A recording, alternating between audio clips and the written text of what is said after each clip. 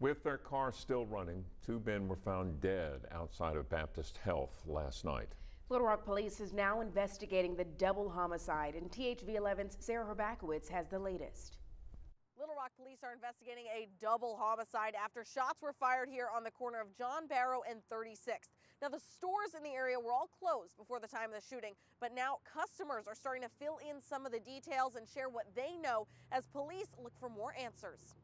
The Sunshine Mart along John Barrow closed Sunday night, just hours before police report shots fired. Yeah, I closed yesterday like 10:30, 10:25.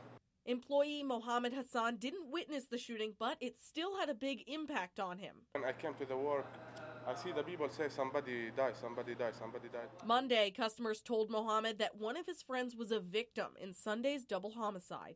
He like my friend, for real. He came here every day and we talked together and he paid food from here.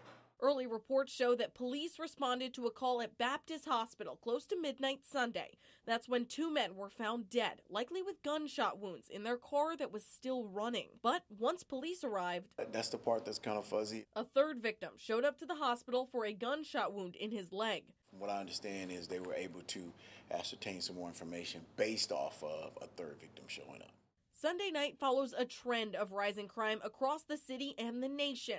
According to LRPD, homicides increased by 24% over the last year, with this investigation marking the 62nd and 63rd homicides in 2021.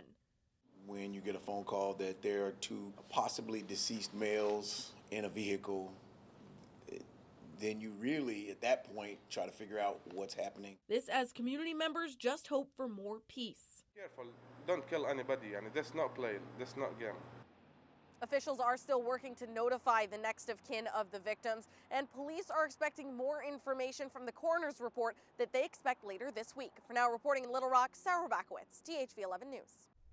Sarah, thanks so much. If you have information on what happened or who was involved, Little Rock police are asking you to give them a call.